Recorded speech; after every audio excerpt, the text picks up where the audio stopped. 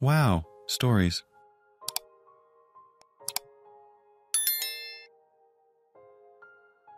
Am I an idiot if I tell my friend her BF is planning to propose?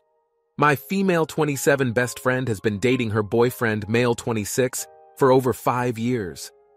A while back, he reached out to me to help figure out ring size and the setup so he could make this the most magical day for her.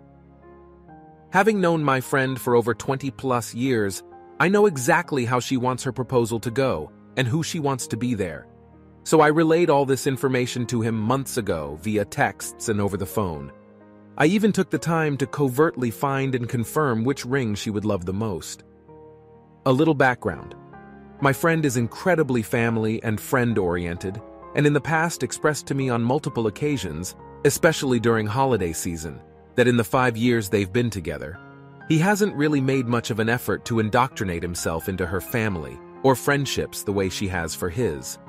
While I do generally like him, I have always felt that he is incredibly self-serving and self-focused.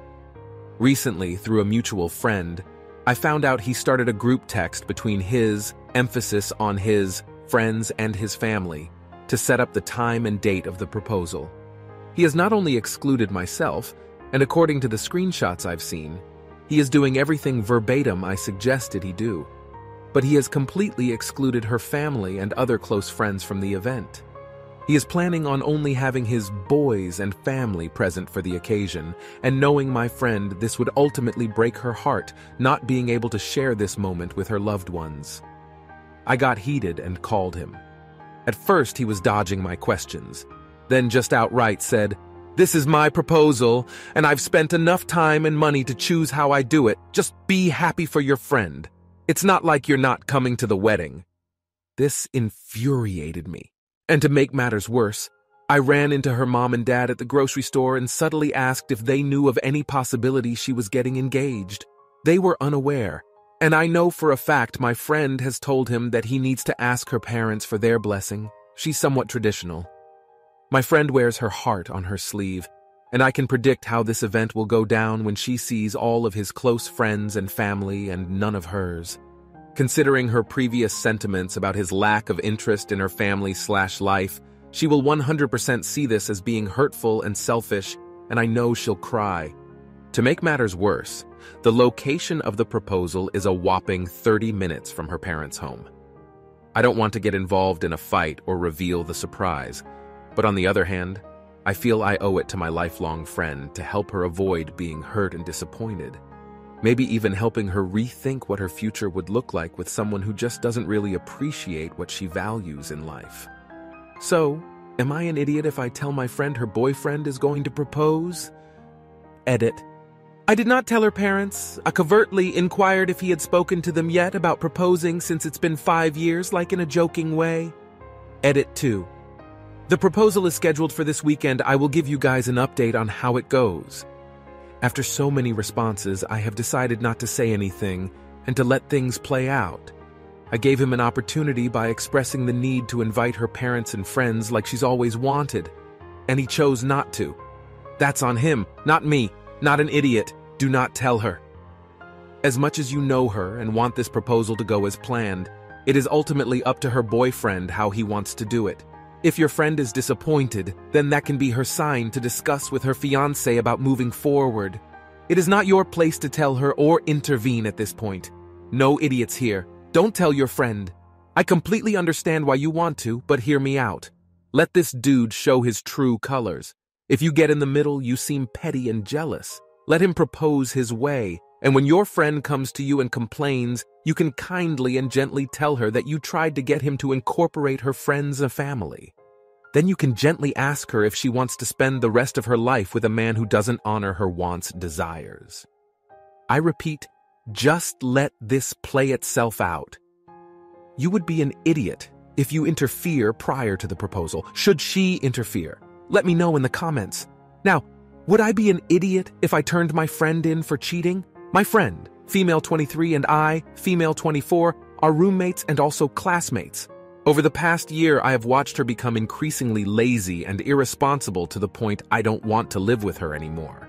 When we first moved in together, she was pretty laid back like me. Lately, she's constantly having guests over and letting them stay over late into the night when she knows I am in bed by 9 or 10 and am up at 6 a.m. for work.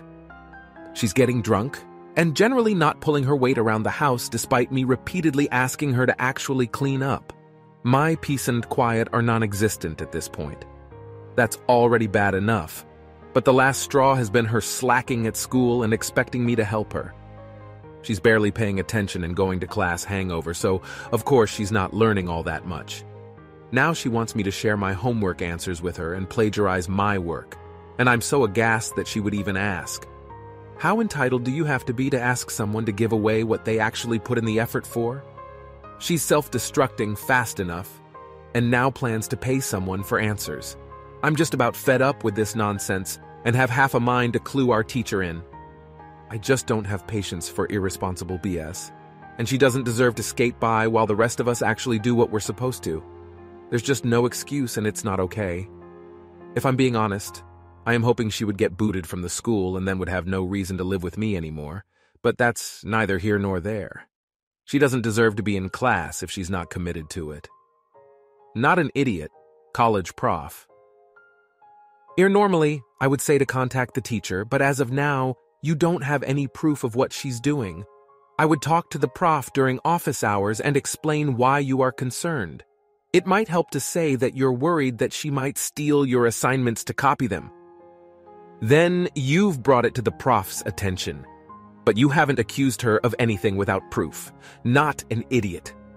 I had a friend whose roommate was just like this. He stole answers from my friend and nearly got both of them kicked out of school. I wouldn't be surprised if she's copying OP behind her back. Colleges take plagiarism extremely seriously and you should protect yourself. Without evidence, the school may not do anything, but by informing them, you could save yourself trouble down the line. OP, you don't owe this girl anything. Should she turn her in? Let me know in the comments. Now, am I an idiot for not picking my girlfriend's daughter up from an event? I'm 37, and I've been in a relationship with a mid-40s woman, Amy. She doesn't want to tell me her specific age, which I don't mind, for about a year. She has a 17-year-old daughter I'll call Jess. Over the weekend, Jess had a school event and had asked me for a ride in advance. I didn't mind in the slightest. I drove her over to the school and we had a nice chat in the car. When she got out, though, a bunch of her friends were there, and she waved to me and shouted, Later, creepy stepdad, with a huge smile. I think it was a joke to her friends. They laughed, and I stared awkwardly for a few seconds. Then Jess said, Go, go, literally shooing me away. I drove home thinking whatever, but over time it started to really grate on me. I know that she wanted to just show off for them, but I didn't want to be stuck in a car with a girl who considered me creepy in any way. I shot her a text around that time that she would have to find another way to get home. She didn't see my text for some time, but a few hours later she called me asking for a ride. I told her that I couldn't do that as I had had a couple of drinks, which was true. Then she half hung up on me and apparently called her mother. Amy was busy working on something at the time and told me that I needed to get over there and pick her up.